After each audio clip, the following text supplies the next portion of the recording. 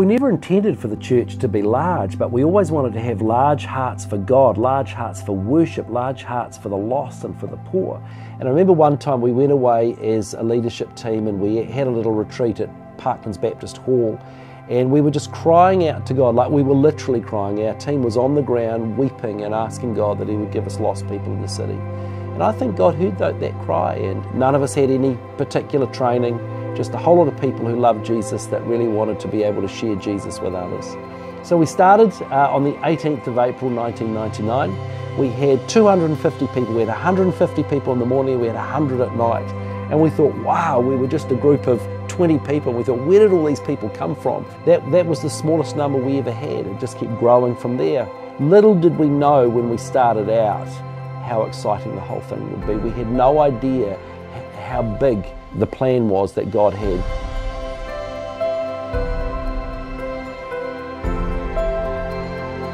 I grew up with a lot of um, just a lot of generic lies and, and things like that around who I can be and who I am, my self-worth and trying to figure out where I belong, where I fit. I was uh, mentored by Matthew Stevenson and a bunch of the other 24-7 youth workers at the time. I just came along to Grace a few times through that. First impressions of Grace were real, like um, real inviting and real loving, and there was something about their lives that was different to mine, and it made me really intrigued as to you know find out what that was, and ended up being God.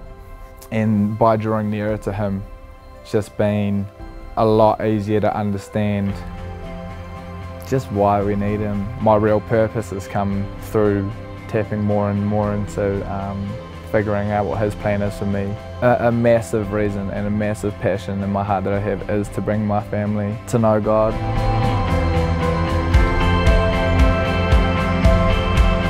We're saying very proudly the church is the hope of the world and we are the church. The mission we've been given here in Christchurch is to go and rescue lost people. Let's pray, let's fast and then let's just get out and do it. And if it means expanding buildings and if it means planting more churches, let's do whatever it takes to be able to win lost people. You know, and I always think if people can't be welcomed into the church, if they can't find hope and healing in a church, then they have got no hope because we believe that the, the church is the hope of the world. I think the hunger spiritually in the world is for Jesus.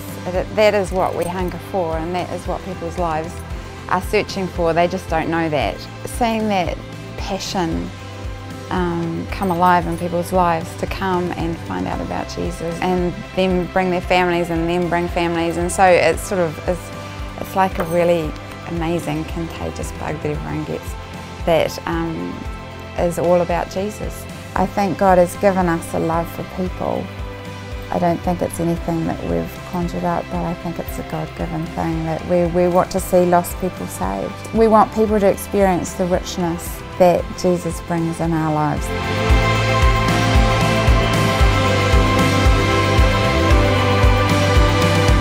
The first Christchurch earthquake, we came the day after that. And it just happened to be that Dave was speaking on a rescue ship or a cruise ship. And part of his message was, you know, we're a, we're a rescue ship, so we're not here just to have fun, we're here as a rescue.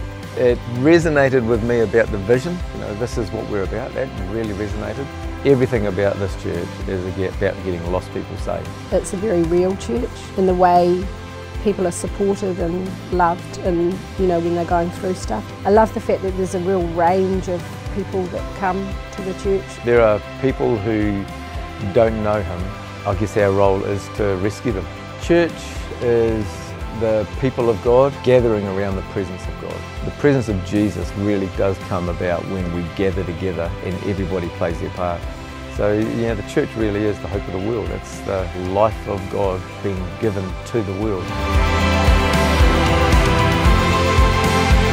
Man, what a wild ride it's been. I think that's the um, you know, 17 years going on 18 years. You know, man, I'd love to see 20 churches and seven, more churches in 17 years. Wouldn't that be awesome? To just blow that history out of the water and see the church just advance in this next generation. I love that there's an opportunity for more and more people to be able to come as we grow more campuses mm. because that means that someone else is coming in to know and to learn about Jesus and to become Christians and to mm. find the fullness of life. At Grace, there's a hunger and thirst for God, and the more time that we spend with Jesus, and the more that we worship, and the, and the more that we pray, and the more that we get together in small groups and talk about Him, you can't help but want to share your faith. And we've just seen so much of that in, in the history of Grace, of just people, uh, ordinary folk, inviting people to alphas or inviting people to churches or sharing their faith and all the rest of it, and just seeing just a whole life get utterly transformed, a whole family get utterly transformed.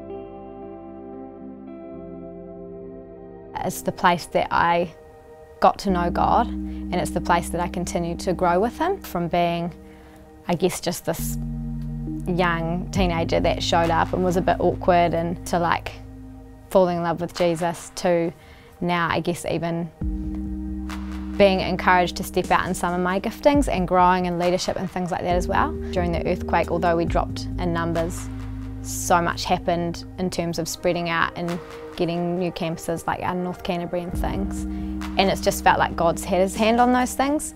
So it's just exciting, I guess, to see how that will continue to spread and where else he might take us. God's given us this building because as a church we've been really faithful to him and I think our leadership has been really faithful to him. I'm super super excited about how it will be used in the future, about all the people that God's going to bring in, about where it is in the city.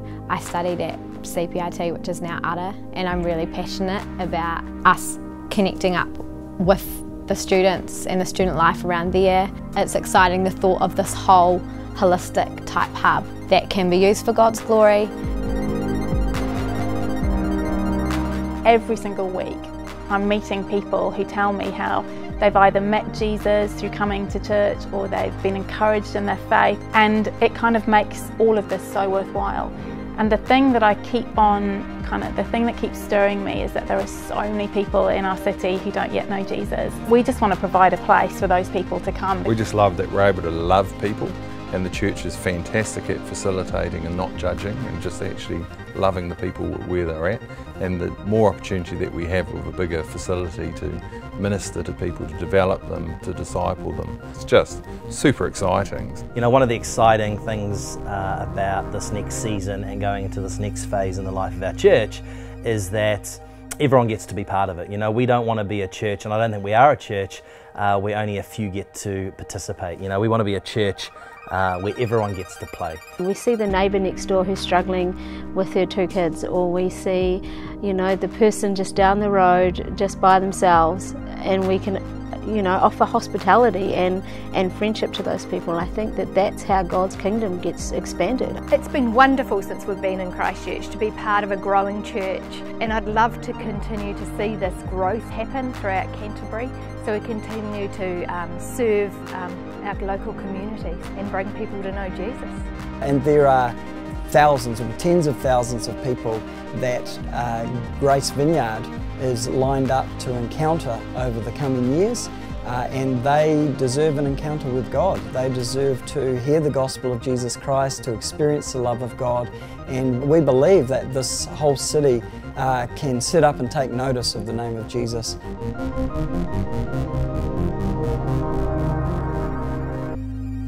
But when you look at the growth of the church right from, you know, 18th of April back in 1999, we had 100 and something people.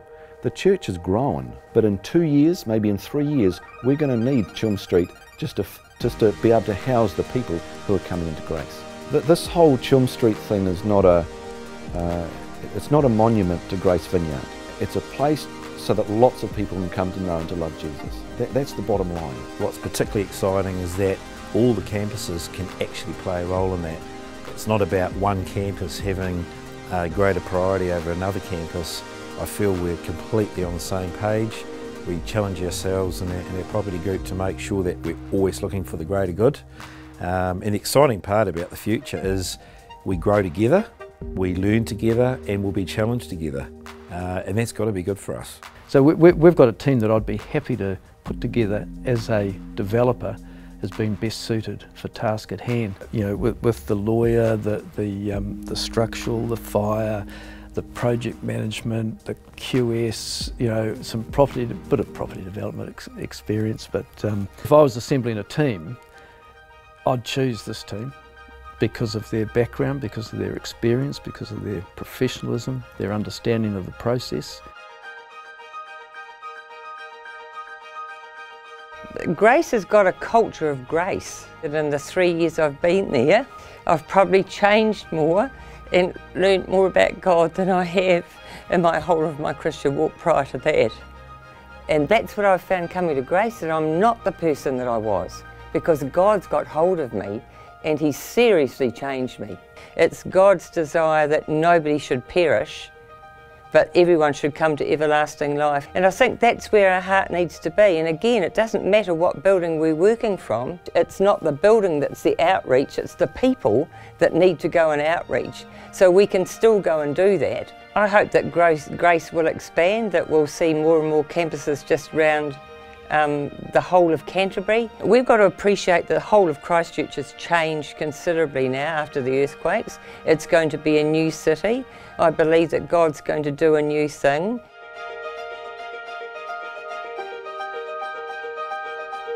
And we always just had this incredible burden from the early days of people who were lost. And this city is a city of 400,000 people, uh, 85% of whom are lost. And you know, it's our responsibility in this generation to be able to reach out to those people. God's put us here as a church and as a people for such a time as this. And so our churches are like boats. You know, they're rescue boats and we can come alongside. Now, some people may not want to jump in the boat and, and we can't do anything about that. But, but the people who want to find salvation, that want to be saved, we want to bring them on board our boat. And we never want to have too few boats. And we want to have bigger boats, and we want to have more boats, and we want to have boats that go in every direction mm-hmm. so that every last person can be, be able to be saved.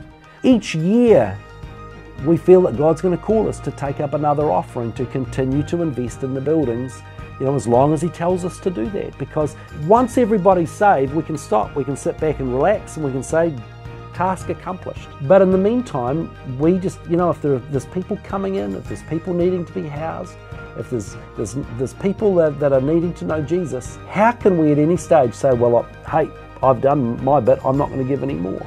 You know, the city's going to be beautiful when it's built. You see the, the plans that there are, and you see the buildings that are going up. It's going to be the most magnificent city, and we're right there in the middle, and God's led us there. Why is that? Because He wants us to have spiritual significance on the inner city, on the whole city, I think. See, the thing is, every time you plant a church, more people come to know Jesus. You know, you've, you've got a choice. Do you just let a church grow, or do you plant? Well, we feel God's calling us to do both. We want to have a large central church that we can put all of our staff and we can do large events and large conferences and, and we can be a wonderful uh, blessing to the community, that we want to wash the feet of the community. When you think about what God has commissioned us all to do, to go and make disciples and, and you know, build churches, um, how can think, something healthy not grow? And how can you keep something so good to yourself so that, you know, sure, we could still be that 30 people that planted the church back in Thorrington, and that would be kind of cosy and kind of sweet, and we'd all grow old together. But God's plan is so much bigger than what we had have, would have intended, and also His heart is for growth and for life and vibrancy. Anything that's got life is vibrant and is extending and growing. So that's that is something to remember when people, you know, talk to you about, oh yeah, but Grace is so big. But yeah, like, yeah, it's big, but it's vibrant, it's growing, and it's it's got God's hand on it.